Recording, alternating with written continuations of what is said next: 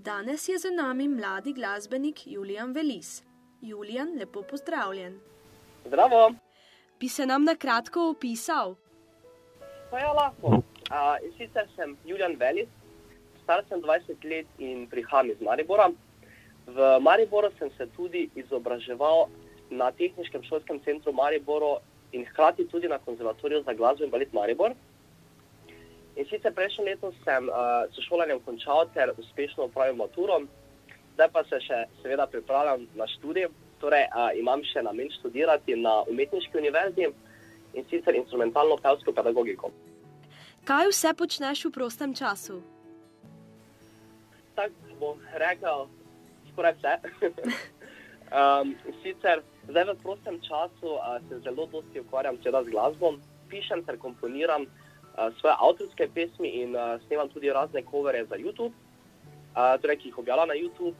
Igram pa tudi tri inštrumente, in sicer klavir, kitaro in harmoniko. Pred to trenutno situacijo, ki je po celem svetu, sem pa tudi kar dosti nastopal, a, torej po Sloveniji in tudi v tujini.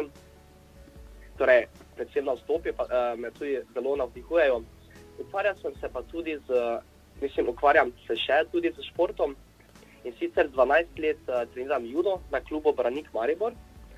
In pa tudi me veseli ples, sem tudi treniral na plesni šoli Sebastian, ples hip-hop. Tako da, ja, kot se reče, vse pomalem. Kdaj si se začel ukvarjati s petjem in odkot imaš ljubezen do glasbe? ukvarjam zdaj z glasbo, nasploh se že ukvarjam zelo dolgo, torej že od malih nog. Torej prvič, uh, seveda se torej moja nasploh glasbena pot začela z nastopi in z vsem. Um, torej prvič sem nastopal pri nekje šestih ali sedmih letih. Takrat sem tudi še imel dolge lase, ker so moji največji vzorniki bili skupina The Kelly Family, taka nemška skupina, pa so vsi imeli dolge lase. In um, sem tudi takrat njihovo pesem, uh, pel torej njihova pesem z naslovom An Angel je bila prva pesem, s katero sem se takrat na odru predstavil. Nastopal pa sem tudi zelo dosti z mojo mamo v duetu, kar še seveda tudi danes delam.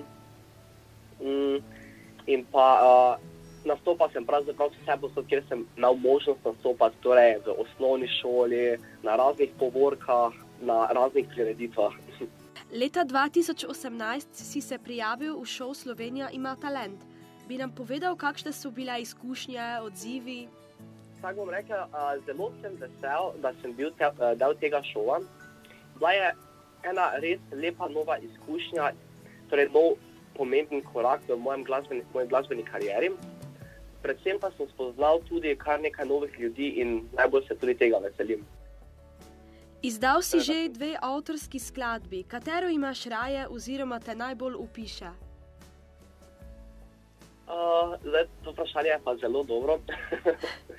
um, zdaj, jaz bi rekel, da od obeh, torej od obeh mojih skladb mi je še najbolj pri srcu skladba Sanjem, ker je pač to skladba, ki sem jo napisal ter skomponiral za vse ljudi na svetu.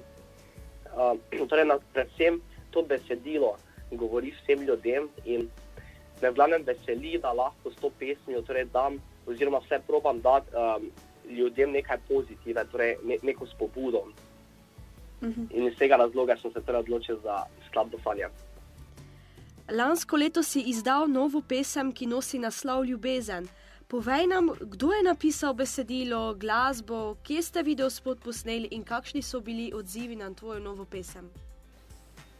Celotno pesem, torej glasbo in besedilo sem sam naredil, video spot pa smo snemali v slovenski bistrici.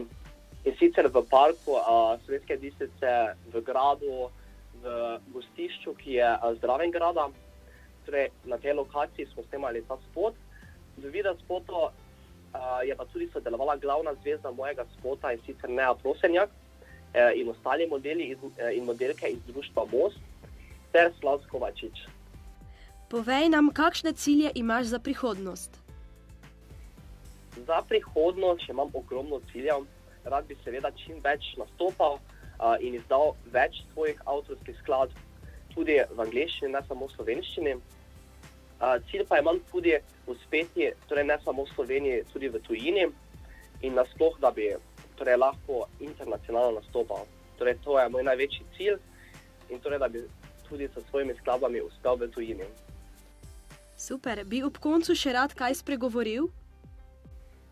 Ja, in sicer sem, uh, torej rad bi se samo še osebno enkrat zahvalil za uh, ta intervju. Sem vesel, da sem za povabilo in ja, hvala še enkrat.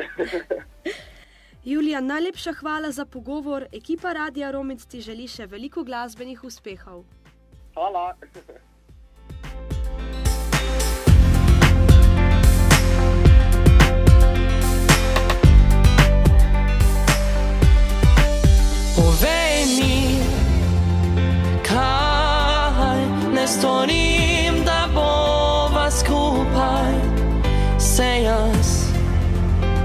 To zelo želim.